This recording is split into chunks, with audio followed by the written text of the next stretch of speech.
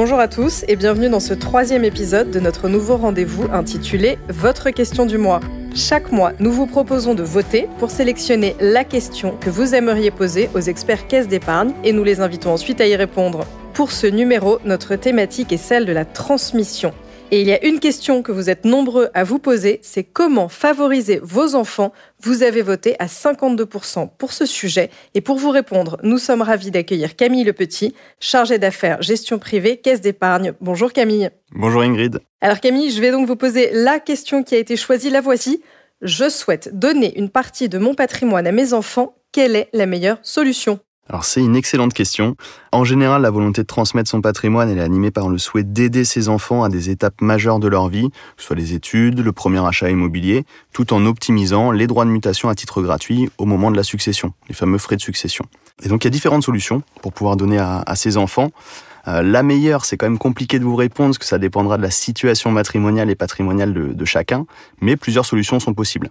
La première qui peut paraître évidente, euh, mais je le rappelle tout de même, c'est qu'il est possible de faire des cadeaux à des dates clés, du type anniversaire, Noël, etc. C'est ce qu'on appelle les présents d'usage. Alors ils doivent bien sûr pas être démesurés. Ce qui est admis en général, c'est maximum 2% du patrimoine du, du donateur. On peut également utiliser l'abattement de don manuel, qui correspond à 31 865 euros par parent et par enfant tous les 15 ans. Alors ça c'est très simple, c'est en somme d'argent, soit chèque, soit virement. Euh, il suffit de remplir un formulaire CERFA qui sera remis par le bénéficiaire de la donation, qu'on appelle le donataire, à l'administration fiscale. Attention quand même, pour réaliser cette donation, il faut que les enfants soient majeurs et que les parents aient moins de 80 ans. Ensuite, il y a un abattement qui était généralement assez connu, c'est euh, celui de la donation classique. On peut donner jusqu'à 100 000 euros par parent et par enfant tous les 15 ans sur tout type de biens et sans frais de donation j'attire l'attention quand même des auditeurs sur le fait que la valeur de la donation réalisée, elle est rapportée à la succession pour sa valeur au moment du décès du donateur.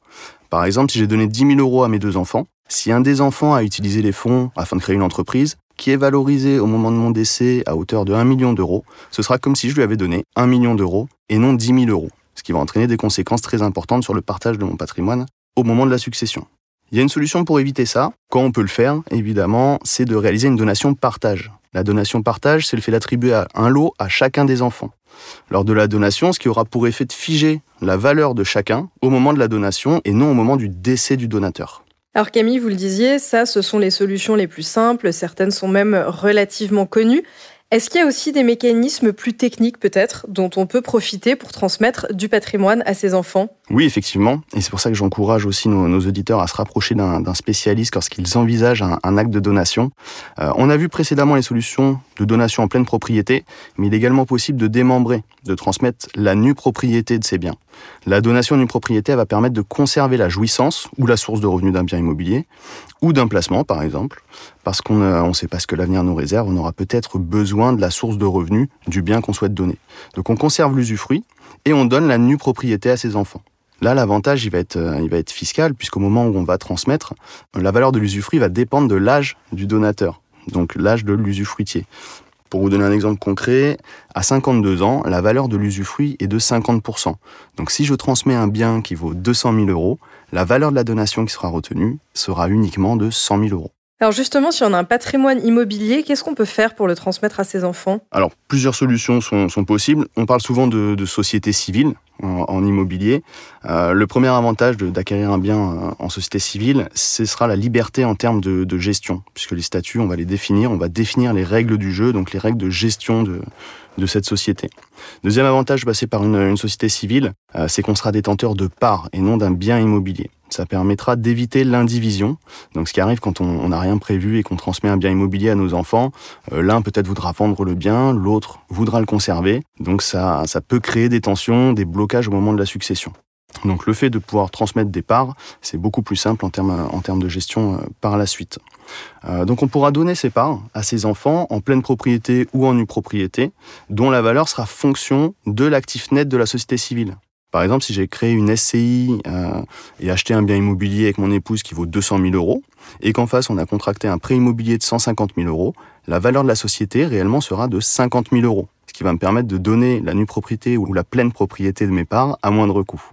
Après, ce qu'il ne faut pas oublier, c'est que l'avantage fiscal, il ne doit pas être le seul moteur de la donation, euh, puisque ça pourrait représenter un, un mini abus de droit. Avant tout, vous devez être animé par la volonté de préparer votre transmission et être certain que vous n'aurez pas besoin de ce que vous souhaitez donner à vos enfants en évaluant bien vos besoins futurs, car toute donation est irréversible. Oui, on comprend effectivement que transmettre son patrimoine à ses enfants n'est pas un acte à prendre à la légère, ça doit s'anticiper. Merci beaucoup Camille. Avec plaisir, merci à vous.